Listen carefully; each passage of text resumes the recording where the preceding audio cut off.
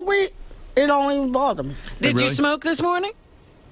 We don't bother me. Did you smoke this morning? Me? Yeah. Nah. No?